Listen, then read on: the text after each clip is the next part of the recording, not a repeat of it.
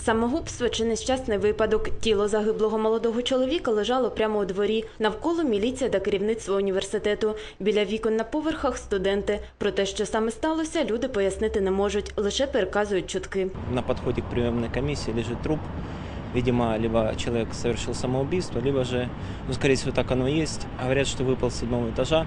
Вот, как бы, что и побудило его к этому поступку, пока неизвестно. Два варианта, либо с- выпал, либо выбросили, ну, или выбросился. Жодних документів у загиблого не було, розповідають викладачі. Лише мобільний телефон. Для опізнання на місце трагедії привели викладачів, каже заступник декана історичного факультету. Это не наши дети факультета нашего. Кто?